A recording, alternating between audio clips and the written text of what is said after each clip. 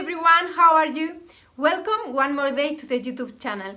I'm Nuria Cabezas and today I've prepared a video in which you can learn how to play the note D sharp E flat 4.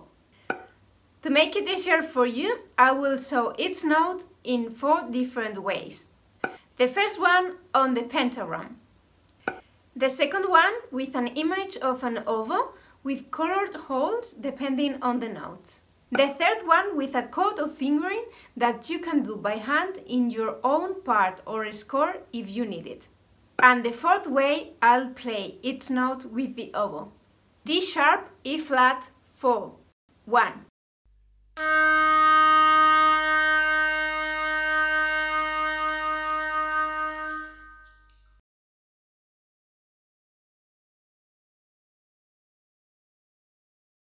D sharp, E flat, 2.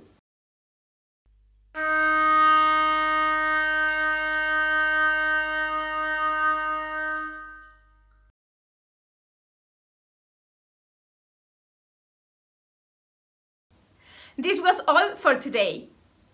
I remind you that on the channel you will have a new video every week and that you can leave in the comments here below your suggestions about the content you would like to see. I will keep that in mind. Share it if you like it and subscribe to the YouTube channel to get the notifications about the new videos.